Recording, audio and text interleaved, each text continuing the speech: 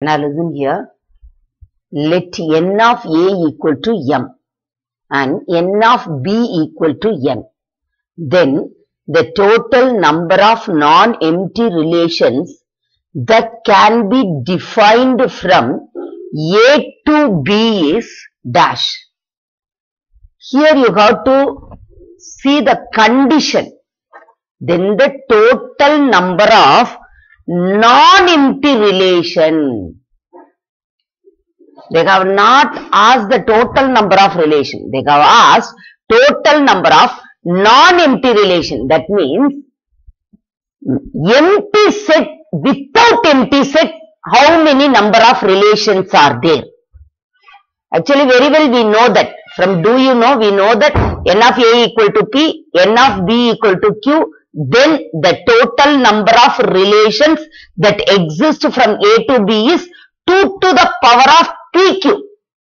In the place of p and q they have given m and n.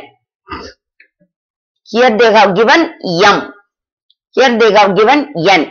Then automatically instead of this what will you get? 2 to the power of mn. That means including empty set. Without empty set means what? 2 to the power of mn minus 1. 2 to the power of m n minus 1. In Tamil medium, I didn't give any examples. Many they asked me to give me, give us example, miss. Like that they were asked. So just a simple example I am giving. Because uh, for Tamil medium, I explained this, do you know, with uh, examples clearly. uh, if you want to refer, you refer it now. After that, uh, later on, I will put a video for this alone. Hmm? Just you take a element. uh, A equal to A. Otherwise, 1. B equal to 2. Relation is a subset of a Cartesian product. Relation is a subset of a Cartesian product. Here it is AB. So it is the subset of a Cartesian product.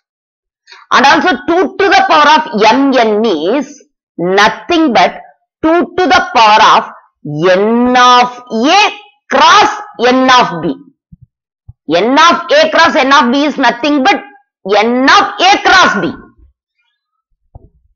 So first you find out n A cross B. What is A cross B? 1 comma 2. Why? This is n of A is equal to 1.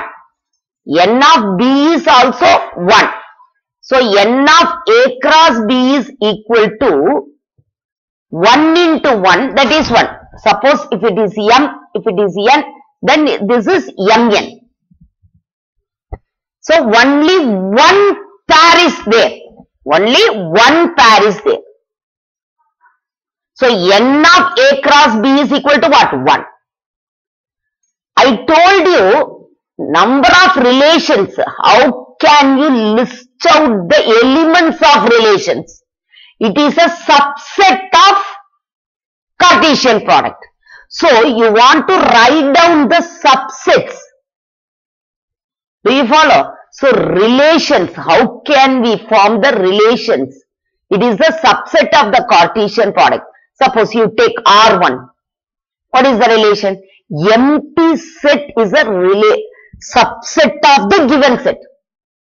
So this is the subset of A cross B. This is a subset of A cross B.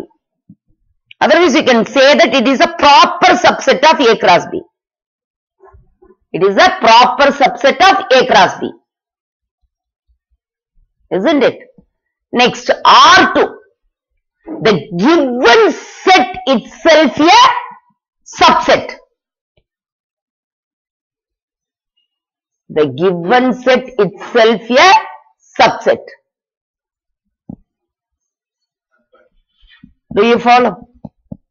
So how many relations are there in the given set? 2 to the power of 1. That is 2. So these two are the subsets. These two are the subsets of the Cartesian product A cross B. Without this empty set means what? 2 minus 1. That means what? 1. With the simple example I explained here. So you refer to the Tamil medium video. Later on when I am having time, I'll explain this with uh, some more examples. Do you follow? So without subset. Without subset means you have to subtract non-empty relations. Without empty set. Sorry, I said without subset. Without empty relation. Non-empty relation. So this is empty relation. This is a empty relation. Empty set is a one kind of pair here. Do you follow every one of you? Thank you.